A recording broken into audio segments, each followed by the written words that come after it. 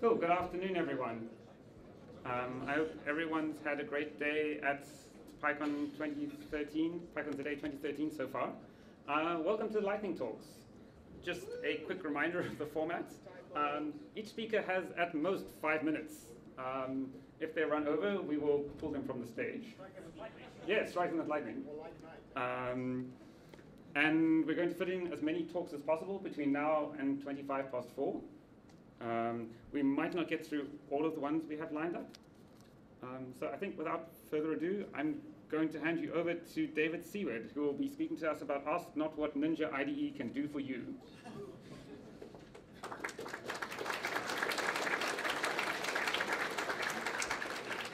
Hi, uh, this is a bit more formal and big than I was expecting, so if I faint and fall over, you know why. Um, friends, colleagues, Pythonistas, I came here today not to praise PyCharm, but to bury it.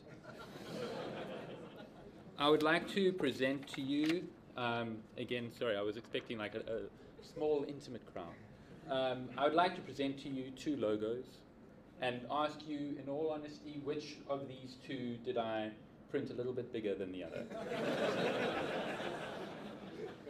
the one on your left is the logo for Ninja IDE. Ninja is not just an IDE. It is an IDE in need of help. Who here speaks Spanish? Some of the uh, tickets that have been listed here on GitHub are in Spanish. I, I don't understand them. I also don't actually do any programming outside of work. Um, so I get really into like little open source projects that I find out about. Shout out to any Rabbit VCS users. it is written in Python as well. Um, so but I realized last year at at PyCon, like, but there's I have this platform, this great resource. All I need to do is get one of you that went to Stefano's talk about like Python and Debian and stuff, like get a few people, even just one person like interested, and then maybe eventually, like one day, six months, a year, uh, the next LTS, um, I will I will be able to like use Ninja IDE. Um, in a little bit of uh, little bit of a serious note, um, pragmatically, I think that PyCharm is probably one of the like number one choices in terms of using an IDE right now. Uh, they just came out with the whole freemium Apache angle plus pay if you want like extra cool features. Um, so I mean, I have no more excuse not to use it anymore, and quite frankly, I'm getting a bit sick of gedit. Um, uh, but uh, the difference is that Ninja IDE is written in Python, not Java. I think that writing a Python IDE in Java is, I don't know, there's something sick about the kind of thing that people put on the internet. Um, um, so it's in it's it's in Python for Python, and it's GPL v3, which is obviously nice and open source. And either you're already convinced by that or not. Um, so anybody that's interested, uh, GitHub Ninja IDE a bunch of uh, very funny uh, Spanish-speaking guys from somewhere in South America.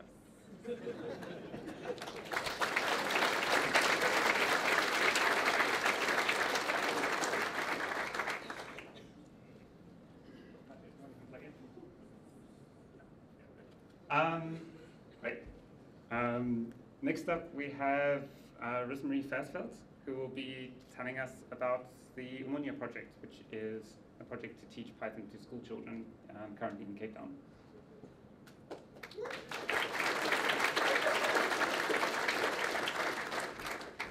Okay, hi everyone. Um, so I don't know who of you have heard of Umonya.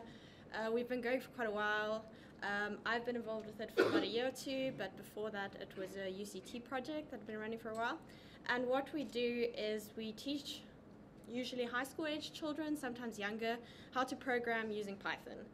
Um, and we aim to help, in particular, kids that wouldn't otherwise have exposure to this kind of thing, uh, either because they don't have IT facilities at their school, or they don't have uh, an IT teacher, just a CAT teacher, or whatever. I don't know how much you guys know about the South African education system. Uh, CAT just kind of teaches you uh, basic kind of Excel skills and that kind of thing.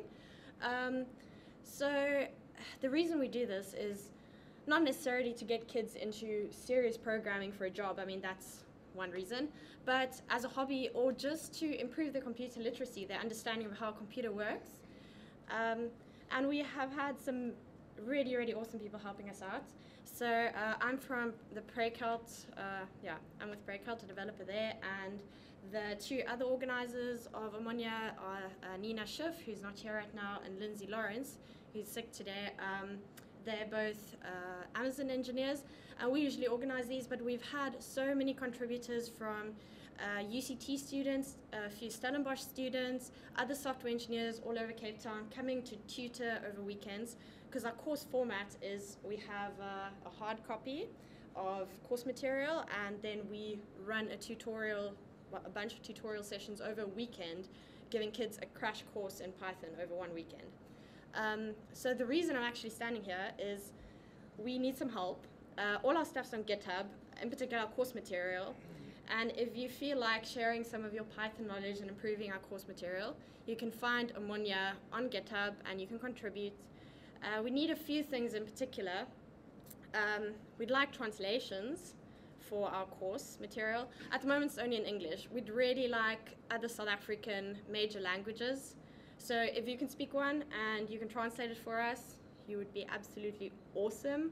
Um, another thing that we would really like to do, at the moment we don't have the resources to carry on after we've done a course weekend and kids know how to program, they're really fired up, they want to do more things, they want to build little games, and we don't have the resources to keep educating them further, nor do their schools or their parents. So um, one thing is there are things like Learn Street and Codecademy that let children teach themselves online how to code.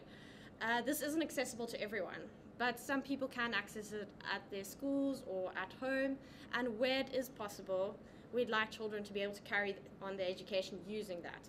And that requires us to update our course materials so that they are in the same order as Codecademy, um, and with little, you know, snippets saying, okay, you can go do this exercise on Codecademy, or you can do it with pen and paper in your book. Because we think there's a lot of value in ki giving kids a hard copy of the course material, since many of them won't have access to a computer for a while, but they could still do some exercises, you know, just pen and paper exercises. Um, so that's another thing we would really, really like. And then there was one more thing, which I can't remember right now. Anyway, but we are on GitHub, so please contribute. And if you guys would just like to be a tutor in one of our future events or like to help out in any other way, you can contact me. Uh, Lindsay isn't here today, but she might be here tomorrow. Um, and we can add you to our mailing list. Um, yeah, thank you. That's it.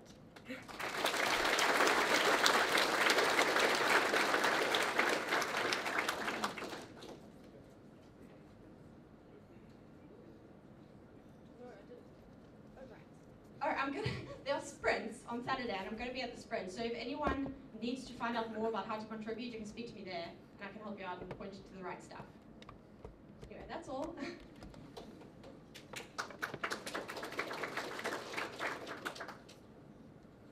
Um, next up is Stefano from Yola, who will be talking about some sort of internal configuration management tool. Um, and he has the lapel mic, so I think he's good to go. Should be. Um,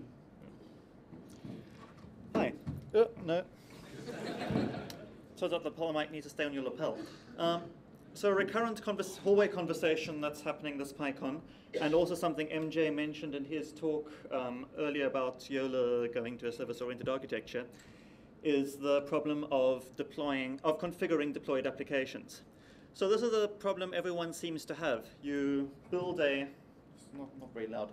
Um, you want configuration in the same Git repository as your app, but you also don't, maybe that app can be open source, but you don't want to give out all your database passwords to the general public.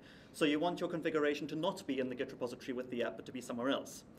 Um, you want to version your configuration with the app, because as the app changes, the configuration it needs changes, but some of that configuration doesn't change with the app, and actually your, whoever deploys it into production is going to um, change the password on the MySQL server or whatever. I don't know. You, it, you shouldn't have to rebuild the application from source just because you um, change the passwords that it needs for a database. You should be able to just redeploy it and it'll build new configuration and just work. So our solution for this is a fairly complicated set of overrides.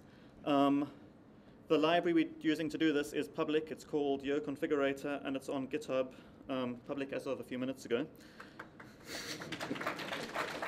Um, and obviously, you don't need to do this. We just think that this approach is a fairly good one, and it works well for us. So in this example, well, in this piece of code I'm showing you here, config configs represents the, a directory that contains um, configuration for all of your applications. Um, you can ignore the first bit. The more interesting bit is common, which really is for all the um, applications. And down here, we've got some overrides that come on top of the configuration that we got from the app itself. So you see appdir, that's configuration that comes from the app. Um, we support deploying the same application in multiple environments and multiple clusters. So you can have your production environment, your QA environment, every development, and uh, every developer's own machine is a different environment. We call that local. Um, and maybe you've got multiple clusters that need slightly different configuration. Your machines in the east coast of US talk to just different databases than the ones in the west coast of US, or whatever. Um, so these are the things we do. Um, configuration is all very simple. It's little Python scripts that look something like this. Um, they basically generate a dictionary that has fairly standard structure. It's got um, there's a section for DB for anything that talks to a database. There's whatever else it thinks it needs. Lots of Django applications end up with these two things. You, you get the idea. It's all very simple. This is an application's default configuration file. It says this is the configuration. These are all the, wherever there is a sensible default, it's in here. And wherever there isn't a sensible default, but we really need something, if there's not anything there, it must blow up when you try and deploy it. You put this thing in that's a missing value, and if you don't replace that with something later, it will blow up. Um, hopefully not too spectacularly. So you can see this application is full of all sorts of secrets like usernames, passwords, um, AWS keys, and none of that's actually in the app repository itself. This app could it isn't public, but some of our applications you can see on GitHub are public, and you'll see configuration like this in there, and there's nothing secret in it. Um, if you're in the local environment, you can see enfub-local, then it should configure itself for running on a developer's own machine. It should not put stuff in var log, but rather a directory inside the Git repository called data. It should use a SQLite database rather than MySQL. You know, the, sense, the things you would want to do to make it run on your machine. Um, this application is really simple. It only has a default and local configuration. But if we go over to our deploy configs repository, which has got everything in it, configs. You can see configs for all our apps, for all the environments, and a whole bunch of common stuff. Um, I've tried to redact it a bit, so hopefully there are no passwords in here. Um, here's our production configuration, which says take the default configuration and, by the way, just configure it to talk to Sentry. There's the URL for the Sentry it should talk to. Um, I can't even what dry run is for. It, it does some stuff that affects EC2 instances, and we tell it actually do that when you're in production. Um, there are also all the passwords that we couldn't put in the app repository. We put in the deploy configs, it, this secret repository that um, has all the passwords in it. And you can see none of them are actually here. So you're not going to learn much from that. Um, Again, that's about it. And then you can build this together. So I say configurator, configurator, uh, build a version, build a configuration for it for our QA environment with that's with for running locally, and it'll build a configuration.json file which has all the configuration it needs, and it can now read that in Django, can read that from the settings.py, any other app can read it however it wants to. Thank you.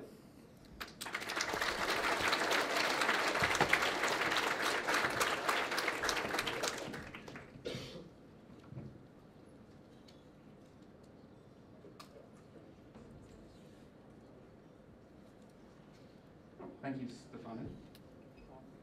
Will I be able to connect this? Do you have a Um, Mac connector? There's a VGA thing. No, can't. Um, It's okay. I will do it without it. Okay. Sure. Yeah.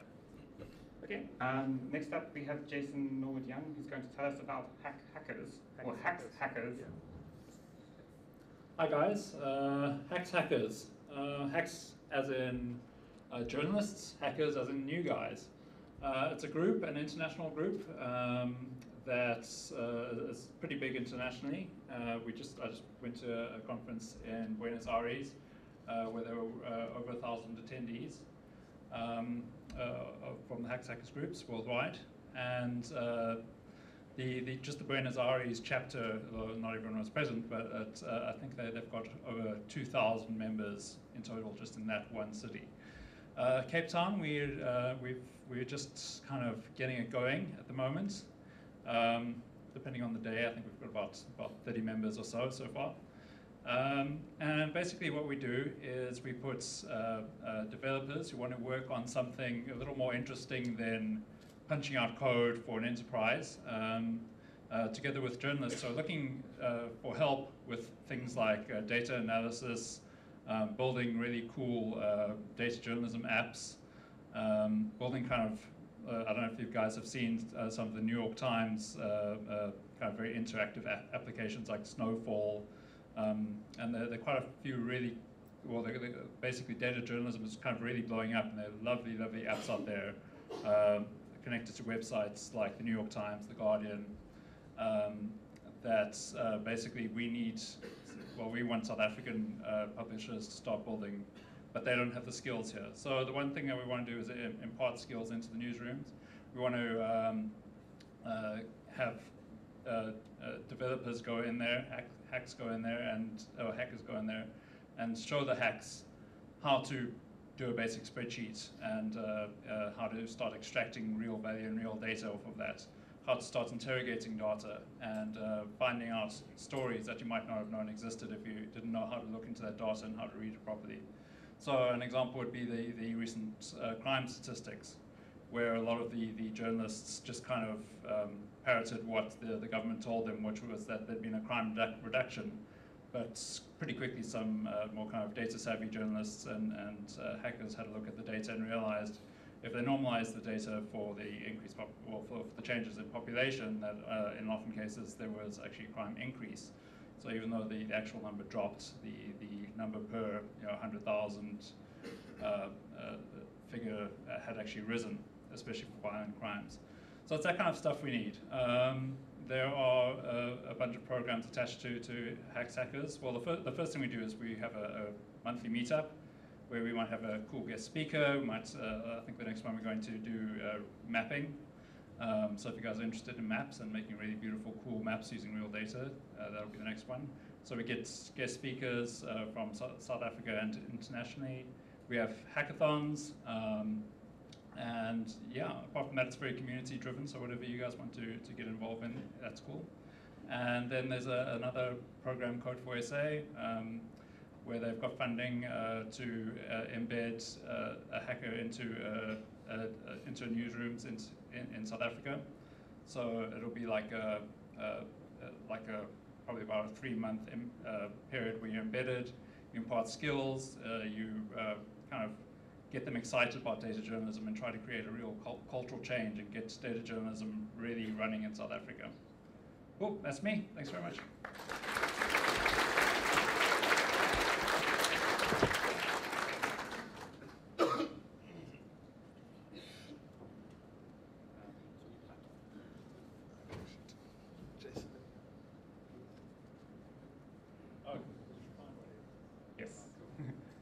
Um, we're just going to take a moment um, for Michael to get set up. Uh, Michael, I don't suppose you feel like doing some more juggling. Oh, wait, uh, where are uh, my props? I forgot to tell them how to get in touch with me. Yes. I'll tell them. Um, oh, hold on a second. So uh, I forgot to tell you, uh, the we've got a Google group, Hacks Hackers slash Cape Town, or Hacks Hackers hyphen Cape Town at googlegroups.com, and you can sub subscribe Hacks Hackers. Well, might even come up.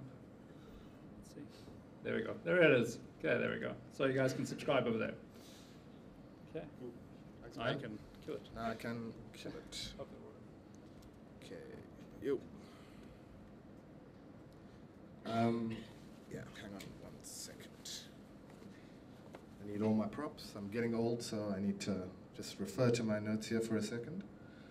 Um, so this talk is a two-parter.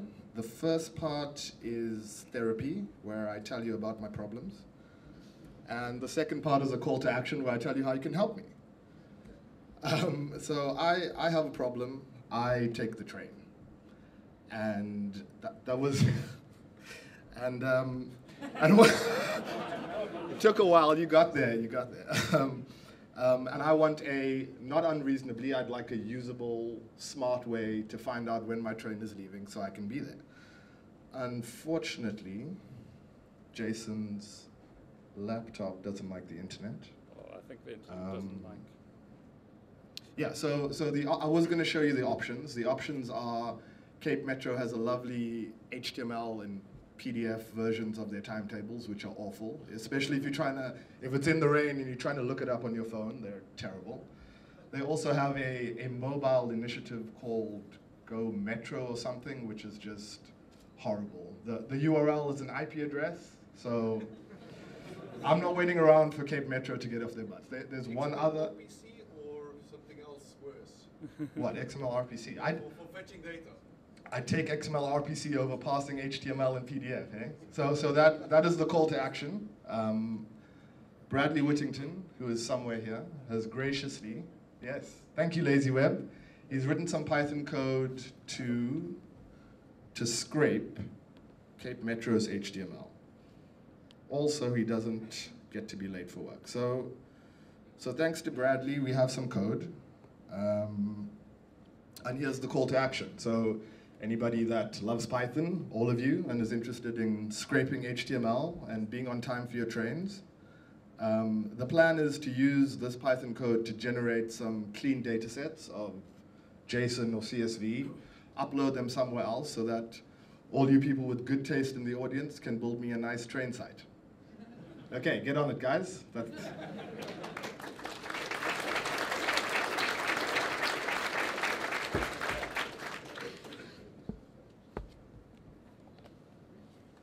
you want the... Where's the cable? Oh, um, this is perhaps a good time to mention that Maciej, our next speaker, will also be speaking tomorrow in a full talk slot. Um, from Nigeria um, had his visa application fall through. Um, so Maciej will be talking tomorrow in place of Godi, um, and Maciej will be talking about um, writing a PHP interpreter using the PyPy toolkits. Um, and now he's and now he's going to tell you how to make a living um, while writing open source software. Okay, hello. Uh, so a few words about open source. So open source is really big. Like a lot of people uh, use open source. A lot of people write open source. Open source powers most of the world's IT infrastructure, which means that like all the server side stuff these days is essentially open source, except some cloud solutions or some like internal company solutions, and except Microsoft, which is kind of in the retreat. Uh, among other things, that means that if you want to write infrastructure projects, and I really like writing infrastructure projects, you have to write open source, otherwise nobody will use it. Uh, it's a problem. Uh, it's cool projects, even cooler people, uh, and by contributing, you learn a lot. So the problem is like, yes, I write open source in my free time, and but then I have to go to work and like make some websites. Uh, so uh, making money from open source is tricky. Uh, it's not easy. It's not for everyone. But uh, if you're a student, if if you're just beginning, I would suggest going for Google Summer of Code or other programs. PyPy was running uh, programs like that. Raspberry Pi Foundation is running programs like that. You can get internships. You can get school credit. You can get a lot of stuff. Uh, Google Summer of Code is like five thousand dollars for three months of work which is absolutely horrible in the States, but here it's not that bad. So if you're a student, really do apply. Google will pay you to write open source software for three months, and you can sit at home and do whatever you like. As long as you write software. If you're not a student, there are various companies that uh, mostly write open source. So Mozilla comes to mind. Uh, Praekelt comes to mind. Rackspace employs tons of people like Alex Gaynor and uh, Glyph No, Glyph works for Apple. Uh, but the, there are tons of people. Jesse Noller works for Rackspace. Uh, Red Hat is employing a lot of people like Dave Malcolm uh, and a lot of other people. I'm hiring open source people. If you are looking for a job and want to do something pretty obscure, come to my talk tomorrow. and there is quite a bit of open source funding. Uh, as a PyPy project, we managed to raise something like $120,000 in the past two years, which is maybe not a whole lot of money, but seems to be quite enough to fund quite a lot of cool projects. Uh, so in summary, it's possible to live uh, from writing open source, which is very cool. And it also seems to be one of the few ways to actually write infrastructure that other people use. Uh, this lightning talk is quite short, so if you want, just come and talk to me. I don't bite, usually. Thank you.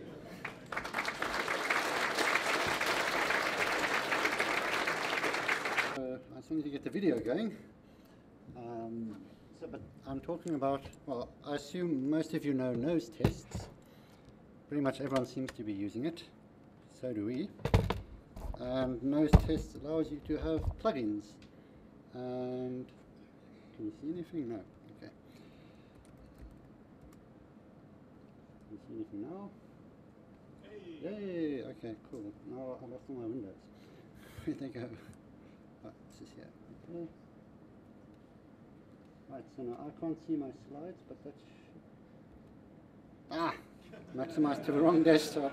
Okay, okay. Okay, no worries. Let's just uh, make that a bit smaller. But is it left or right? Oh, there we go. Yo. Um, unfortunately, it's an NVIDIA nonsense, so you don't get to use the normal normal stuff. That's good enough. Okay, right, so that's me. I also work at SKA. This is my whole, this is, oh, why radio telescopes? It's supposed to say why nose progressive. Sorry about that. well, radio telescopes are cool because they, uh, because you can install them with pip. Right. Um, also, it's a very simple plugin for nose tests. It lets you uh, know how far your tests have run it hides unnecessary output, so your screen is much cleaner once you've finished running the test. And it lets you quickly go to the right place in your editor, and it lets you quickly uh, cut and paste tests that have failed. So now it's on to the demo. Let's see. Da, da, da. Oh, now this is going to be hard because I can't see it. Uh, okay. I'm just going to do this. Right. Okay. Um, so, normally when you run a test, test, like this, you have no idea how many tests there are, you have no idea how long it will take. You just get a little dot, oh, it wasn't too bad, it was five seconds, but sometimes tests take a lot longer to run and you, you get annoyed. So, uh, after you run the pip command I showed you, you just add dash dash with progressive. And, oh, look at that, it's a progress bar. Hooray. Okay. And uh, now, now I'm going to try and introduce an error into my code. That should be quite easy. Uh, where am I? This is actual SKA code, so I shouldn't commit this.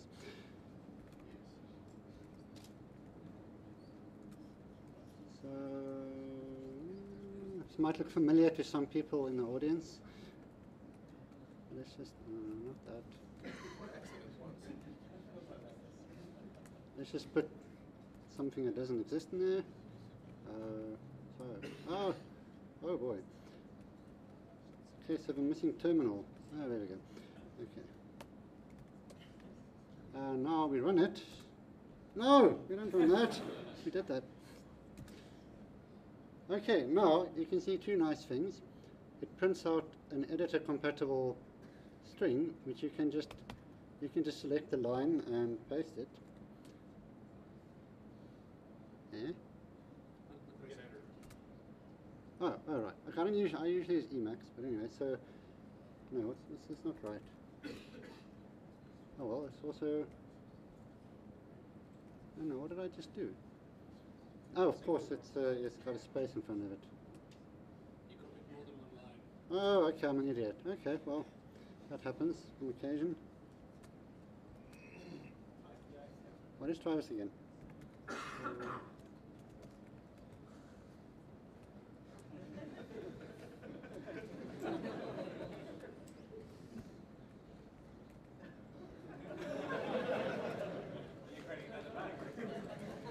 think this will work. Right, so now I can uh, get that line which I understand. Oh. Okay, never mind. Well. Spot, Well, anyway, that plus 50.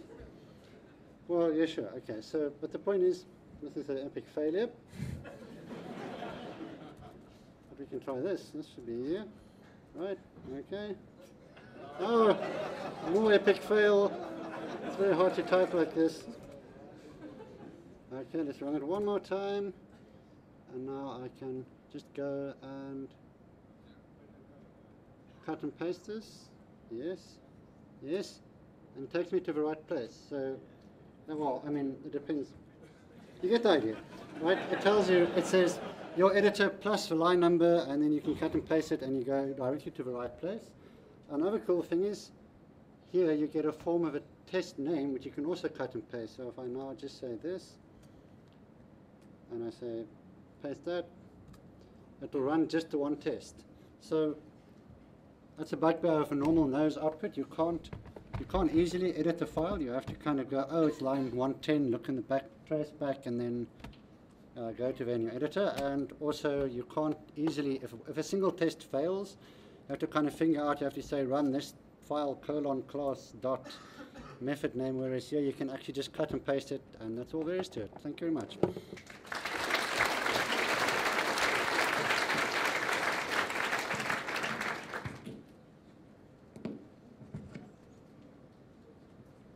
Uh, next up, we have David Fraser telling us about putting bugs back into your code.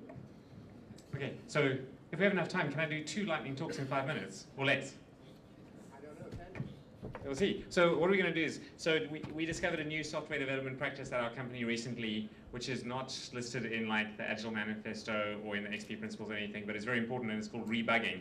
So what this is, is actually much easier than debugging, which is really fun, but takes a long time. What you do is you find a commit that fixes a bug, and then you just say git revert, and then you push it let everybody use it. It works fantastically. The bag will reappear exactly the way it was before. And on your Trac ticket, you'll get a nice little message after all the like, oh, we're trying to find out what's going on. Oh, we fixed it. Here's it's landed. Okay, we pushed it to the customers. Like they're all using it happily. Revert. And then you don't need to add any description to why you did that. And then afterwards, the beauty of this, you see, is when the customer comes and reports the bug, it's now so easy to fix. I mean, it's fine. We know. I know you had that before, but listen, we really know how to fix this bug. We've done it once before. Okay, so that's rebugging, and I recommend you all use it. It makes you much happier and generates much clarity in your um, meetings. Okay, um, so, but then I had a second lightning talk, which I didn't prepare, which was because of what he was talking about earlier about the train. So I have this little module which I wrote because I don't like using banks' websites to download statements from them. Does anybody else feel this? So I've got a little module which um, will download bank statements in a scripted way from Standard Bank and Discovery, and I think it should work with FNB. So, and that's also up on GitHub. So if anybody is interested in doing that, so I kind of thought like maybe there's a broader thing than just trains that needs addressing here. That like there are all these people who produce websites in South Africa who don't know how to produce APIs that other people can use, and maybe we should just take their websites over and do screen scraping and make our own APIs. So, um, so I started with finance things. So if anybody's interested in that, then um, come and chat to me as well. Thank you very much.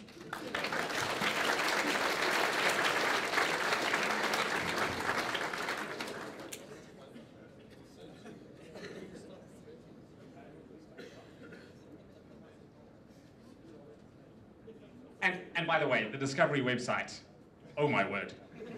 At least the online banking one. Like, have you tried to use that thing? discoveryonlinebanking.co.za. They were inventive about that, and they were very inventive about the way they use JavaScript and HTML. Yes, yes. But it's worse because it's old and strange, not because it's new and totally unique and like weird. Do you want this or the? Yes. The lapel one? No, no, it's fine. Thank you.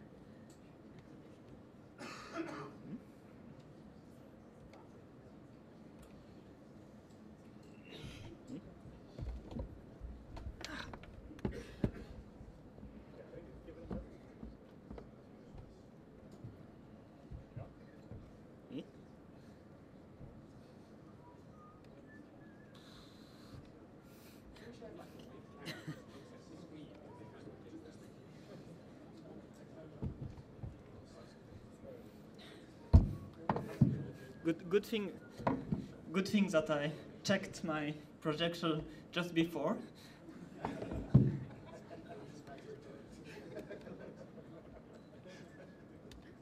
So what I want what I want to show you is um, a Python module it's called CFFI. So it's going to be a slightly more technical talk than most previous talks here.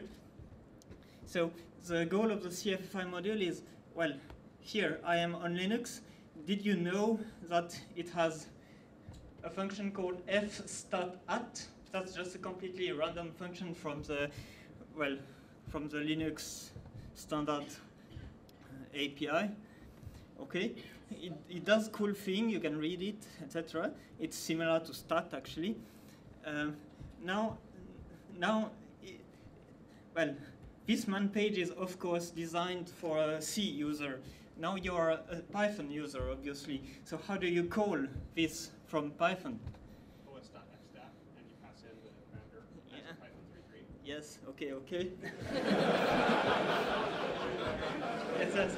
The, well, yes. What La- what Larry mentioned is that it's actually uh, it is actually uh, supported in Python 3.3 this particular function. But let's say you're still using 2.7.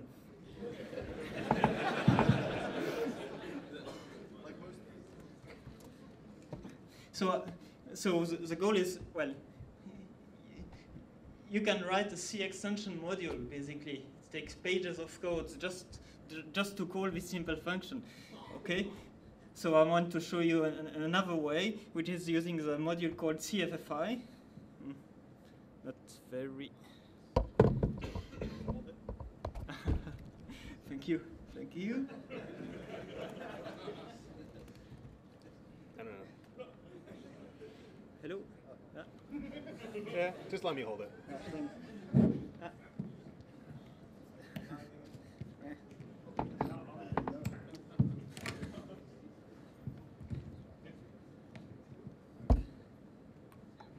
Okay, does this work?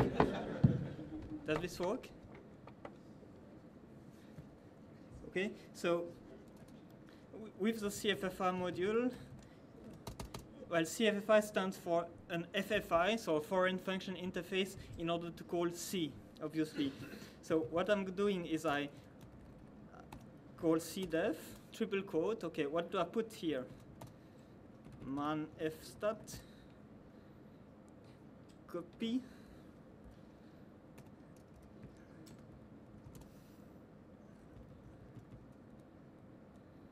Up, copy paste. Okay, but this needs actually the struct stat. But then, well, what is the struct stat in C? What does it contain? Contain tons of stuff. Well, I can see actually more or less what it contains here. Oh great, all these fields. I don't know, I'm interested in only in getting the size actually. So I want only this field and well it contains other stuff, okay. And then if I look in uh, fstat at sorry um, I want this special value here because I want to use it in my code. So what is it actually? It's defined right? Defined but what is the value? I don't know so I'm going to put dot dot dot. Okay. Then another obscure command. And here I need to put well what are the includes that I need actually? Well these these two probably up are the includes don't care too much but let's try oops I get a failure. What is a failure? The fields is declared as 4 bytes but actually it's 8 bytes. So my my CFFI module actually figured out that this field here is 8 bytes not 4 so well, okay, let's fix this.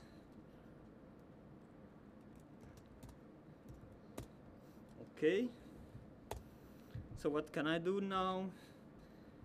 Well, I can just call it fstat at, and here I want uh, the constant value at fdcwd, well, fdcwd, okay.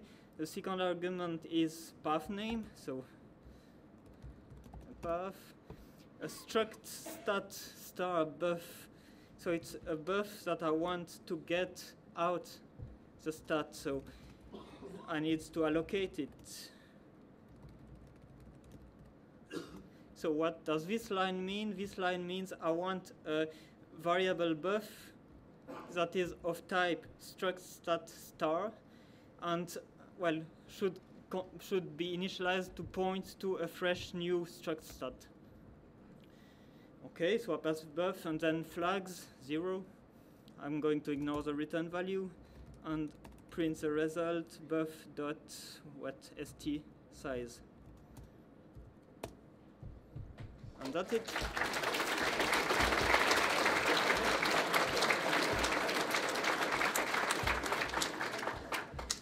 Okay, well, th that's my lightning talk. So the so it's uh, it's about the CFFI module, which is well, some way to use C libraries from Python.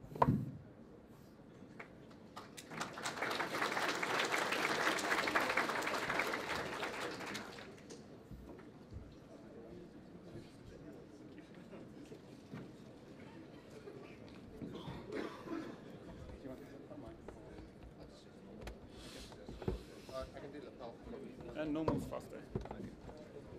Cool. Thank you very much, Armin. Um, next up, we have David Campion, who I'm not actually quite sure. Oh, he's going to be talking about CodeSpeed 2. Um, and I will hand over to him. Once he has done his little dance.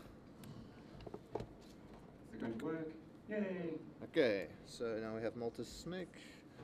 Okay, cool. So um, I'm borrowing someone's laptop and trying to do presenting and stuff. So CodeSpeed 2 is really cool. Uh, Maciej, can you stand up and wave your hands in the air? And Armin, because you're both really cool.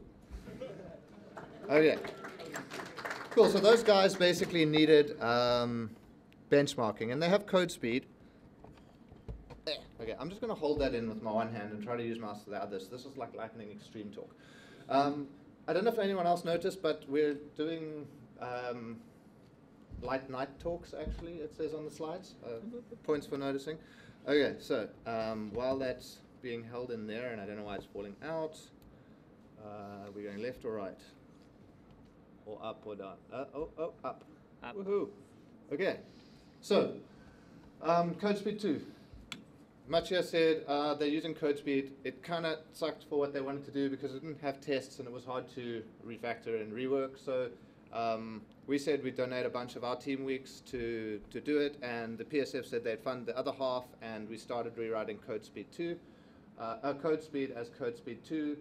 The, yeah, the text that it uses is MongoDB, a bit of Cyclone, and does cool stuff.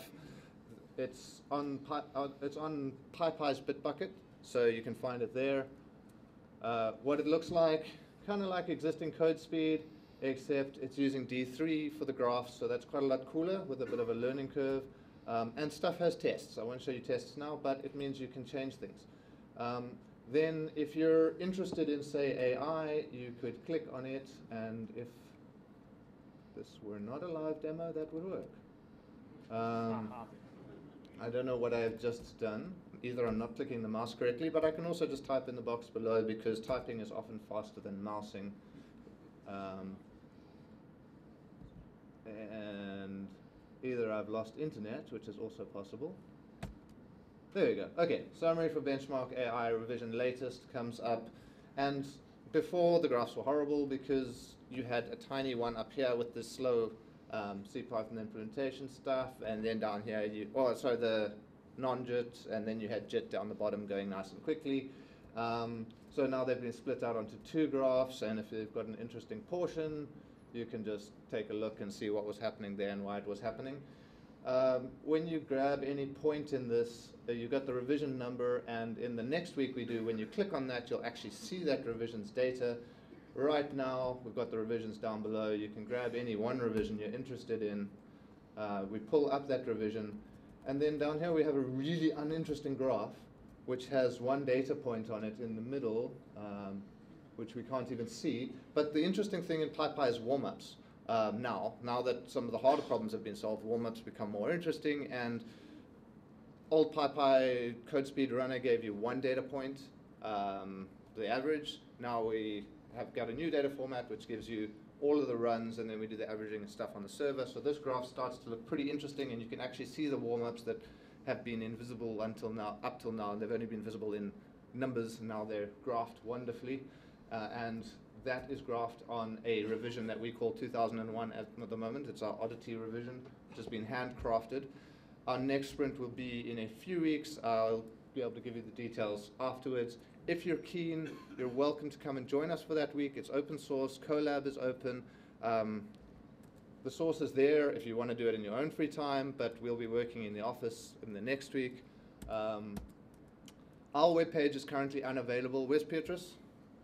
Yeah, okay. So Petrus has a service for keeping co.za ser name servers renewed, Our name service is renewed.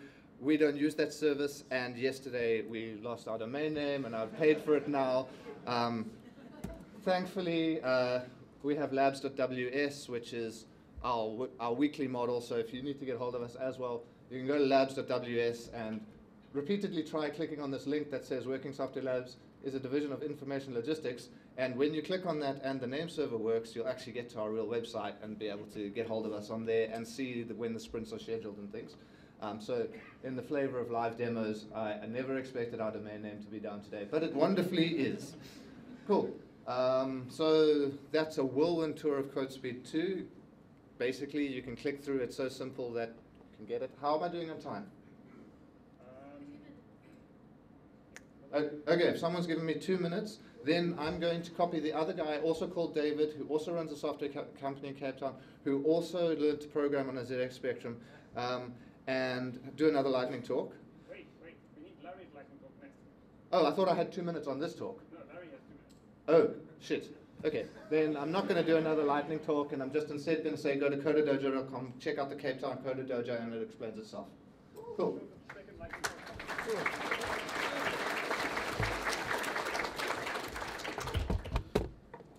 I would like a microphone. Oh, I thought you had the Yeah.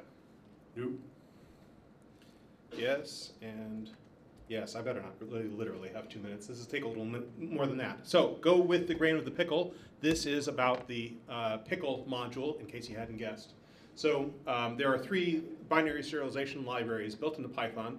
Um, there is pickle, marshal, and shelve. Now, marshal, I mentioned earlier today, that's something used for PYC files. It can change, uh, perhaps even violently, between point releases it's an unending sea storm of changes. You don't want to touch marshal. Just don't use it. Um, Shelve is really Pickle uh, with the DBM module plugged into it, so it doesn't get you anything beyond what Pickle does. So really, actually, you're going to use Pickle. If you want to use something built into Python and do binary, binary serialization, you're going to use Pickle. But Pickle's a little weird. Um, it's, uh, you kind of have to warp your program around Pickle a little bit because of the constraints that Pickle places on you. And this talk is basically what I learned when I did that for an application I was working on. Um, I was writing an implementation of a popular card game in Python uh, called uh, Mille, short for Mille Bornes. Um, it's command line, it's, it's like scrolling text, but it only runs on Linux because I wanted key presses to be reactive, so it doesn't work on Windows yet. But anyway, I wanted to save and restore all my binary state um, so that you could just kill the program and pick up where you left off anytime you wanted. And obviously I was going to use Pickle for that. Um, I'm using it, uh, it's all written in Python uh, 3 specifically, and I wanted to automatic save and restore. So there were a bunch of surprises that I encountered when I was doing this. The first one is dunder init on your classes is not called when you unpickle an object. When you unpickle an object, you load in all the bytes off of the disk, and then you sort of reconstitute the object in memory. When you reconstitute that object, you don't call init. Um, this means that, for instance, if you want to add a new member to a class, um, if you do it inside of the init, well, that init isn't going to get called, and so now you're going to have an instance of that object that you've unpickled that doesn't have field or name. So what you really want to do is, when you add a new field, you want to add it at class scope and set it to some nice static value that's immutable. If you have something that's going to be a mutable thing like a list or something, then you're going to have to do something like add a new dunder call on your class that automatically gets, that you call by hand when you unpickle the object. You were going to call this other thing. Um, but if you can live with immutable values, then you should do that. The second thing that's surprising is that dunder new is called because new is used to construct objects. And so they actually creates a new object and then splats in all of the values from uh, the pickled serialization format. So dunder init is not called, dunder new is. Uh, the third thing that surprised me, so this is kind of badly worded. All pickled classes must be at module scope and consistently named. What I mean by that is, if you're doing something clever, where you're creating your own type, your own types at runtime with uh, type. You know how type can take one parameter and that'll tell you the type of thing, or it'll take three parameters, in which case it'll create a new type object. Um, if you're using that, then um, you need to make sure that every type that you create is at module scope, and the type, th uh, the name that you give the class is the same as the name of the variable. Because the way that Pickle works, it actually writes down the names of your classes and what module it got it from. And then when it recreates the objects later, it goes and looks up those classes by name inside the module that it finds by name, and it recreates the object by calling new. And so if you can't find those names, if they aren't consistent, then Pickle is going to fail when it tries to reconstitute the object.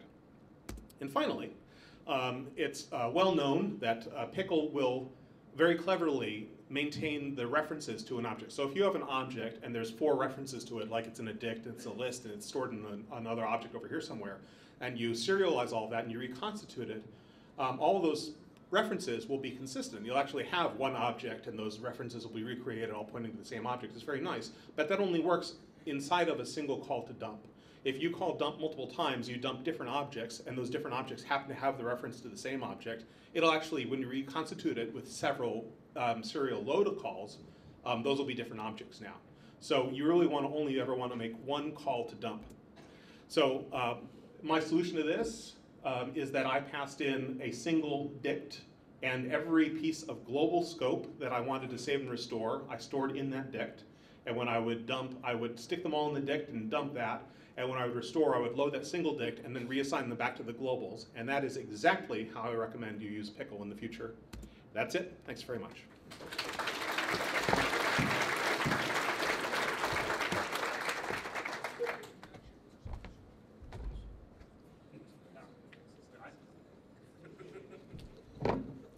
Cool. Um, that's it for the lightning talks this afternoon.